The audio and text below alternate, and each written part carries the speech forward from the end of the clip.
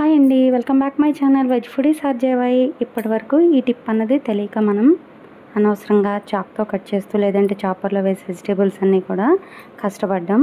Easy tip అండి ఇది వచ్చి ప్రతి ఒక్కరి ఇంట్లో మిక్సీ ఉంటుంది.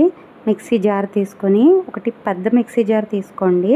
పెద్ద మిక్సీ జార్లో ఒక కప్పుడు మామూలుగా మీడియంలో కట్ చేసుకున్న క్యారెట్ తీసుకొని అది మనం మిక్సీలో ఒకటి అన్నది వన్ టూ త్రీ అని ఉంటుంది కదా స్పీడ్.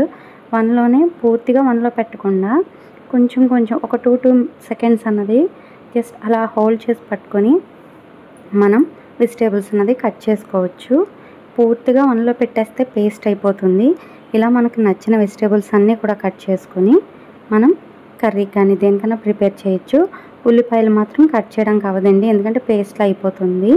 మనం మరీ మరీ ఎక్కువగా సన్నగా అవసరం లేదనుకుంటే just two times two two seconds అన్నది హోల్డ్ చేసి పట్టుకుంటే వన్ స్పీడ్లో పెట్టి సరిపోతుందండి.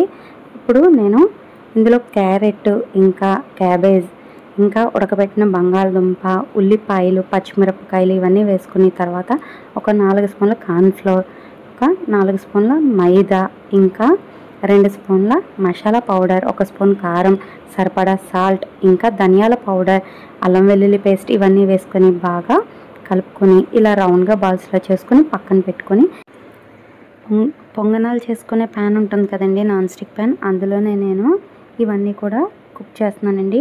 డీప్ ఫ్రై చేయకుండా ఆయిల్ లేకుండా నెయ్యి వేసుకొని చేస్తున్నాను. వీటన్నిటిని కూడా ఈ బాల్స్ అన్నిటిని కూడా పొంగనాలు వేసుకొని ప్యాన్లో వేసేసి అటు ఇటు తిప్పుకుంటూ మొత్తం అంతా కలర్ చేంజ్ అయ్యే వరకు కూడా మూత పెట్టి ఉంచితే లోపల వరకు కుక్ అవుతుందండి. మీరు ఈ బాల్స్ అనేది చిన్నగా చేసుకున్న ప్రాబ్లం లేదు. మొత్తం అన్నీ కూడా కలర్ చేంజ్ అయిన తర్వాత తీసేసి ఇప్పుడు ఒక కడాయిలో మళ్ళీ ఒక హాఫ్ ఒక అర స్పూన్ వరకు నెయ్యి వేసుకుని ఇందులో ఒక చిన్న ఒక అర చెక్క సరిపోతుంది ఉల్లిపాయ. మీకు ఎక్కువ కావాలంటే ఎక్కువ కూడా యాడ్ చేసుకోవచ్చు. దీంతోపాటు పెప్పర్ క్యాప్సికమ్ ఉంటుంది కదా అది కూడా వేసుకోవచ్చు.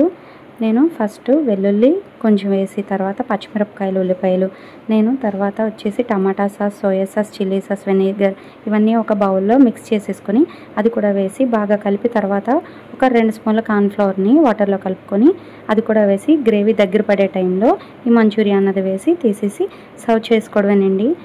ఇంకా మీకు ఏమన్నా వీడియోస్ కావాలంటే కామెంట్ చేయండి. ఎవరన్నా నా ఛానల్ కొత్తగా చూసినట్లయితే సబ్స్క్రైబ్ చేయండి. పక్కన ఉన్న బెలకం క్లిక్ చేయండి. చూసి వెళ్ళిపోకుండా సబ్స్క్రైబ్ చేయడం మర్చిపోకండి.